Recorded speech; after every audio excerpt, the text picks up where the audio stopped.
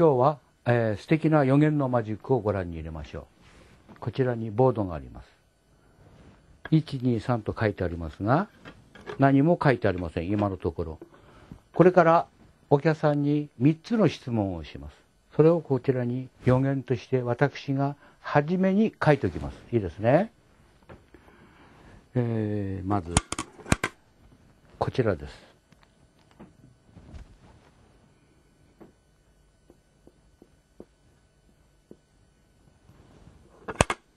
はい、書きました。好きな花の名前。何でもいいです。ちょっと言ってください。桜。桜。はい。もうお花見終わってますけどね。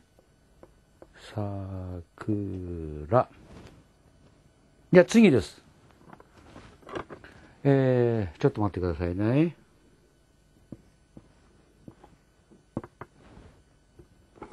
はい、書きました。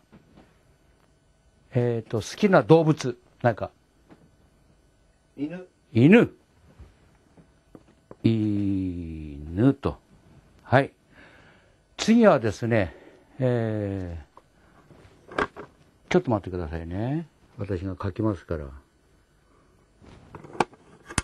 はい。もう書き終わりました。お好きな数字を言っていただけます ?57。はい。えー、51ね。あ、あ、あ、ごめんなさい。7か。ごめんなさいね。ちょっと待ってね。50? 7。57。はい。いいですね。最初は桜。ですけど、私の方が先に書いたんです。いいですね。お客さんが桜って言うだろうと思って、桜。犬って言うと思って、犬57、57。見事に当たっております。これが予言マジックです。